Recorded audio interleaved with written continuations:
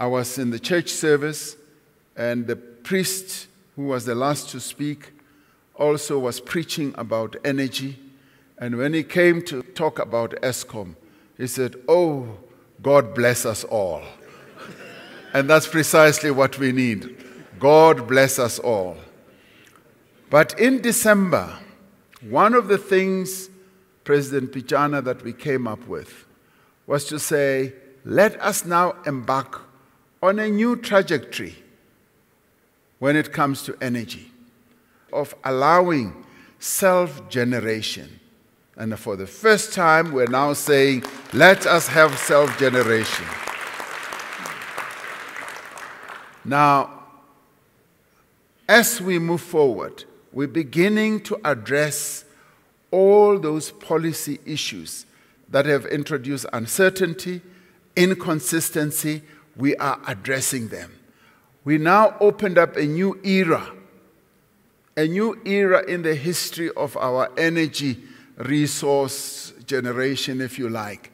A new era that says we now are embracing the fact that there are those companies, there are those even families or households that want to generate their own energy. This, for me, was brought more home because one day I got on the roof of my house, and as I looked and surveyed the other houses, I saw that my neighbor had a whole range of uh, solar panels. His entire roof was just solar panels.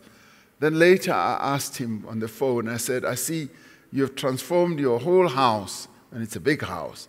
You've transformed your whole house into a solar panel uh, energy generator. He says, Yes, I have. And I'm generating surplus energy. And he says, President, this is what I would finally want to get full permission for to generate in a, in a more effective way and be able to even sell to Eskom. That then made the penny drop for me. And I realized that as a nation, we cannot stop technology.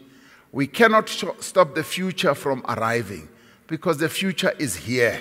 And what we need to uh, do is to embrace that future.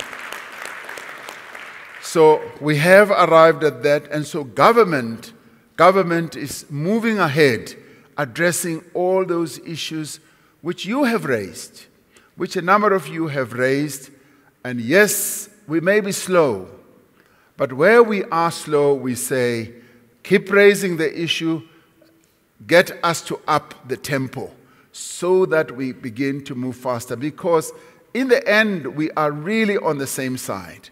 We are on the same side, and today you confirm it more fully by saying activating actual outcomes.